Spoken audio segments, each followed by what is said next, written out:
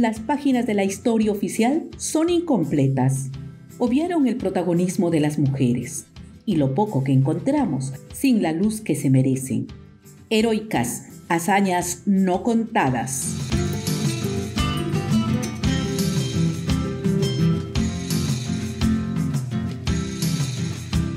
Hola amigas, amigos. El presente episodio está dedicado a las heroínas Toledo. ¿Qué papel protagonizaron en el proceso de la independencia del Perú?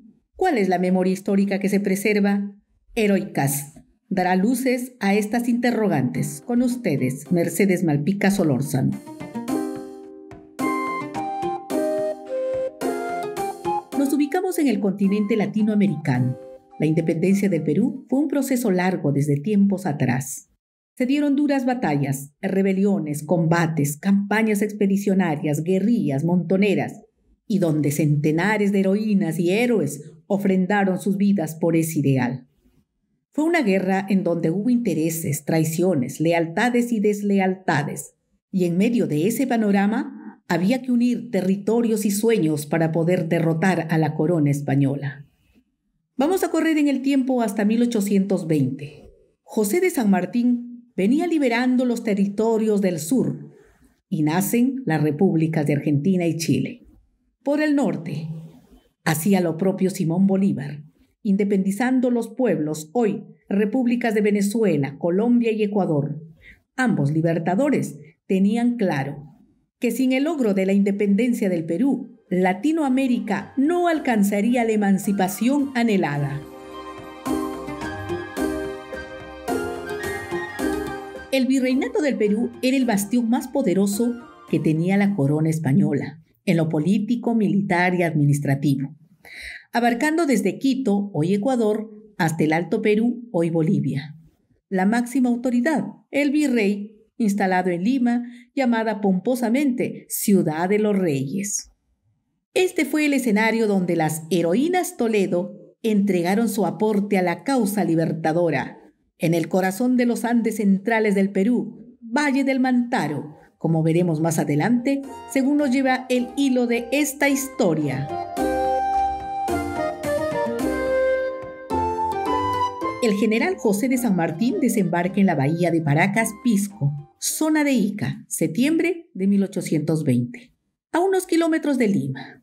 La población lo recibe con mucho júbilo, así como también se van acercando hombres y mujeres de diversos grupos populares, mestizos, negros, esclavos de las haciendas de la zona y algunos líderes de guerrillas locales.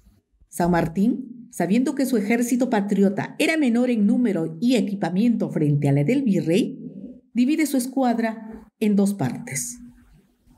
Primero, la parte de la zona de la costa liderado por él mismo, movilizándose entre los puertos de Pisco y Guaura, latente del Callao, con miras de tomar Lima. Segundo, la parte de la Sierra Central, liderado por Álvarez de Arenales, promocionando la campaña libertadora. De ese modo, Arenales inicia su travesía en Ica, se introduce hacia la sierra llegando a Huamanga, pasando por Huancavelica e ingresando al centro del Perú, recorriendo el Valle del Mantaro, Huancayo, San Jerónimo de Tunán, Concepción, Jauja, Oroya, atraviesa Junín, Tarma y llega a Cerro de Pasco. A lo largo de su recorrido va percibiendo la efervescencia de multitudes. Se van sumando a la causa libertaria hombres y mujeres, líderes de guerrillas y montoneras, muy conocedoras de la región, y en forma conjunta van vitoreando las independencias de muchas ciudades, paso a paso. La localidad de Concepción se encuentra ubicada en el Valle del Mantaro, en la margen izquierda del río del mismo nombre. Para ser más exactos, a 15 kilómetros hacia el sur se halla la ciudad de Huancayo y otro tanto hacia el norte la ciudad de Jauja. Concepción es tierra natal de doña Cleofé Ramos, y sus dos hijas, María e Higinia Toledo. Estas tres mujeres fueron informadas que dos columnas del ejército realista se habían encontrado en el pueblo de Mito, en la margen derecha del río Mantaro, y avanzaban con dirección al puente Las Balsas, con el fin de cruzar hacia la margen izquierda, ingresar a Concepción y proseguir a Jauja.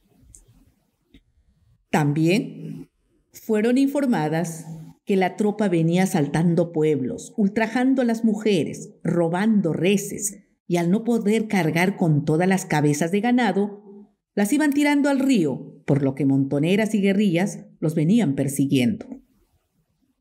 Las Toledo, muy enterada de todo, convocaron a su pueblo para hacer frente a la escuadra española.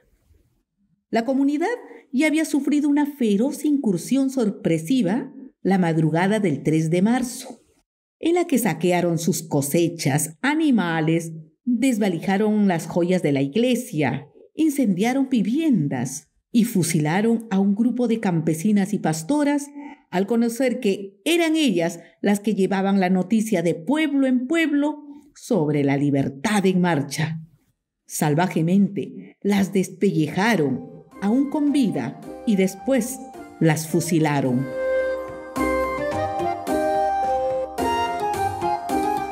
Hacemos un alto para resaltar dos aspectos de gran importancia. Primero, Jauja era una zona estratégica. Arenales había equipado y estaba en funcionamiento una academia militar donde se venía adiestrando a un buen grupo de jóvenes de la élite del Valle del Mantaro. Dos, el virrey La Serna había abandonado Lima. Las montoneras y las guerrillas habían cercado la capital y le habían cortado todo tipo de comunicación. De modo que se traslada a la sierra e instala su gobierno en el Cusco. Sin embargo, su mayor temor era el avance de la campaña libertadora de Arenales. Había que detenerla en la Sierra Central a como diera lugar. De lo contrario, sería capaz de llegar hasta el Cusco. Estaba preocupadísimo la Serna.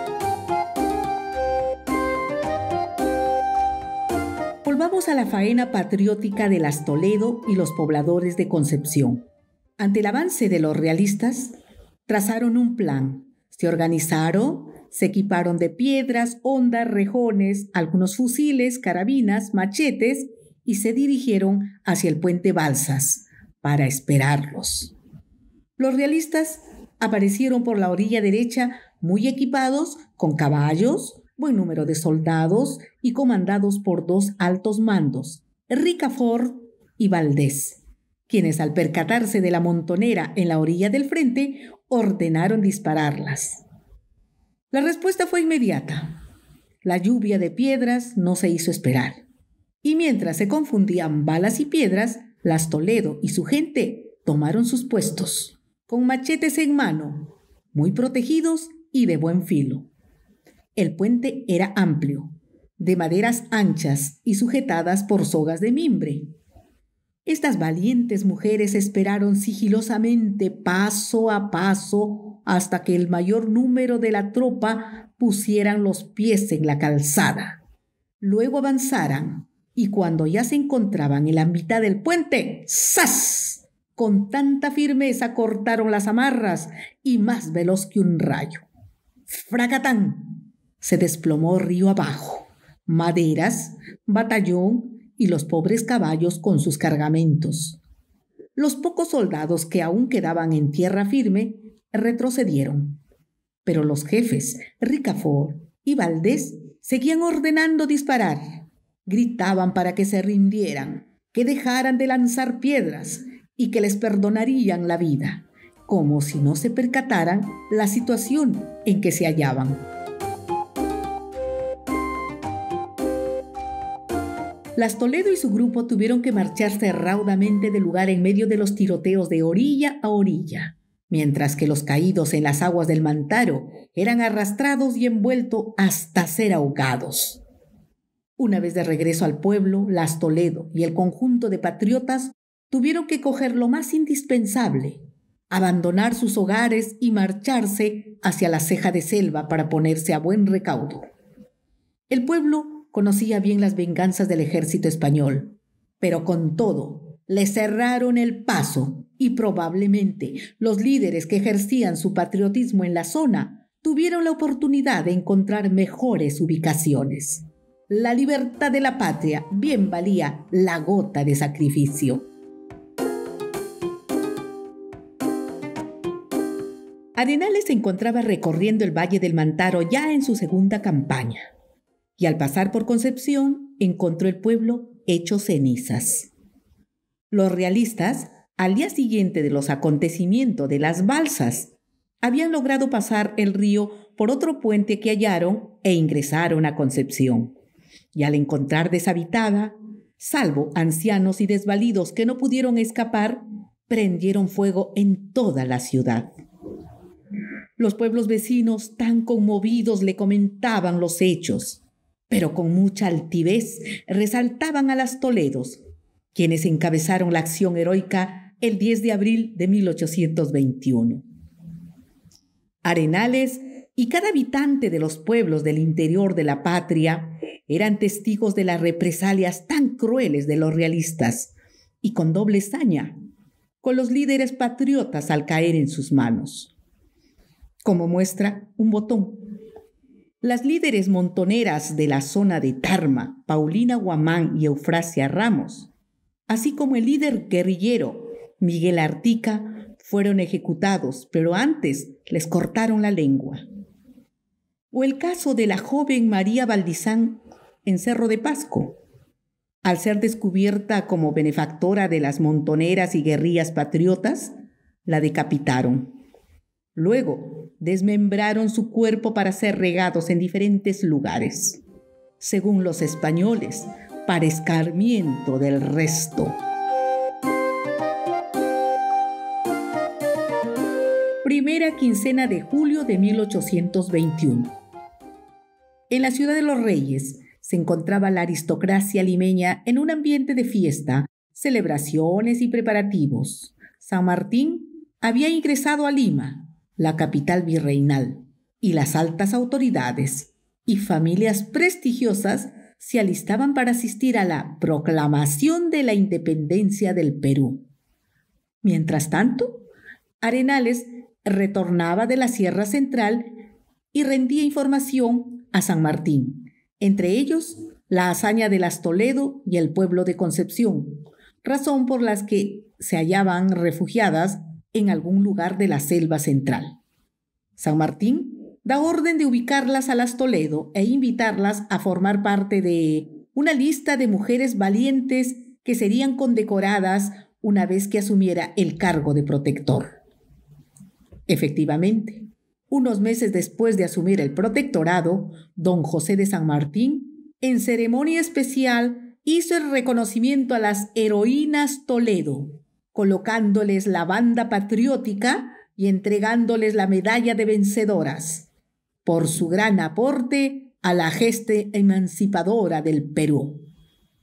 Debo resaltar que entre las 112 valerosas mujeres condecoradas estuvieron también Manuela Sáez, Rosa Campuzano, entre otras dignas heroicas. Como se dijo al principio, la guerra fue dura y larga. Aún después de la proclamación de la independencia del Perú el 28 de julio de 1821, se siguieron librando batallas por cuatro años más contra la corona española atrincherada en la Sierra del Perú fue en 1824, mediante las gestas patrióticas de Junín y Ayacucho, que se pudo alcanzar la libertad del Perú y con ello sellar la independencia latinoamericana. Acontecimientos ya con Bolívar y Sucre y la destacada participación de las mujeres. Pero las páginas de la historia oficial aún con deuda con estas bravas protagonistas.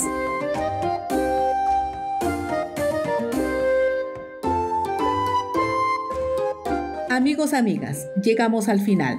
Quiero agradecer al equipo de investigación, a mi editor general y mencionar las fuentes utilizadas en el presente episodio de las Heroínas Toledo. El impacto de la campaña de Álvarez de Arenales en la Sierra Central del Perú. Cátedra Bicentenario 2020. Próceres campesinos en la Guerra de la Independencia del Perú. Bernardino Ramírez Bautista Guerrillas y montoneras durante la independencia. Héctor Huerto Vizcarra. Reseña histórica. Institución Educativa Heroínas Toledo. Mujeres Heroicas de la Independencia del Perú. Congreso de la República del Perú.